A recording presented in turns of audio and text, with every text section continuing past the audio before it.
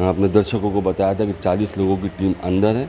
वही 40 लोगों की टीम अंदर है और वो 40 लोगों की टीम रात भर अंदर ही रही है और अंदर से वो बाहर अभी तक नहीं आए हैं और सारी टीम अंदर ही है। आज़म खान अंदर है, आज़म खान का परिवार अंदर है और उनके बेटे हैं जो अदीब आज़म वो भी अं-, अंदर हैं जो जानकारी के मुताबिक।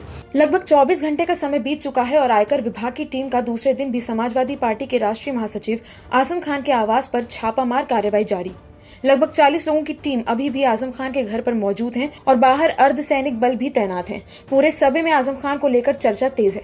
जहाँ सपाइयों ने सरकार के खिलाफ मोर्चा खोल रखा है तो वहीं छापेमारी कर रही टीम 24 घंटे से भी ज़्यादा समय से समय जाँच कर रही है।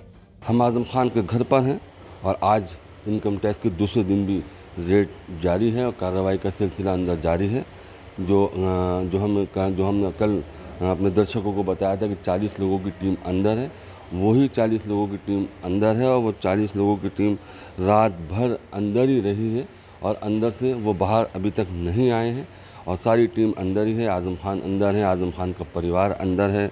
और उनके बेटे हैं जो अदीब आज़म वो भी अंदर हैं, जो जानकारी के मुताबिक हमें मालूम चला है और तो उनकी पत्नी तंजीम फातिमा भी अंदर हैं। एसएसबी के सुरक्षा जवान जो हैं, आप देख सकते हैं कि आज़म खान के दरवाजे के बाहर खड़े हैं और अंदर कार्रवाई का सिलसिला जारी है। और ये कितनी देर कार्रवाई चलेगी? क्योंकि कल सुबह साढ़े छः बजे से ये कार्रवाई का सिलसिला जो जारी हुआ है वो देर रात अंदर ही थे। अंदर के बाद देर रात कार्रवाई को रोक दिया गया था। उसके बाद आज सुबह से वो कार्रवाई फिर जो है वो जारी हो चुकी है। और अब क्या मामला है और क्या उनको अंदर आज़म खान के घर के अंदर कुछ मिला है?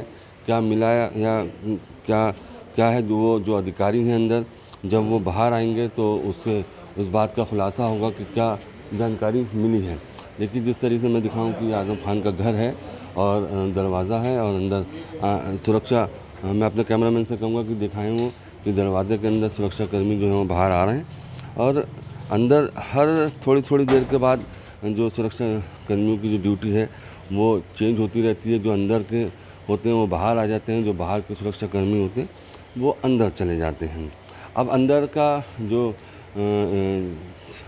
कार्रवाई जो अंदर हो रही है वो किस स्तर तक पहुँची है, ये बहरहाल अब देखने वाली बात होगी कि आज़म खान के घर के अंदर जो रेड का दूसरा दिन जारी है कि अब उसके आगे क्या निकलता है, ये अधिकारी जो है वो आगे पुष्टि करेंगे और कितनी देर चलेगी, अभी कुछ कहा नहीं जा सकता।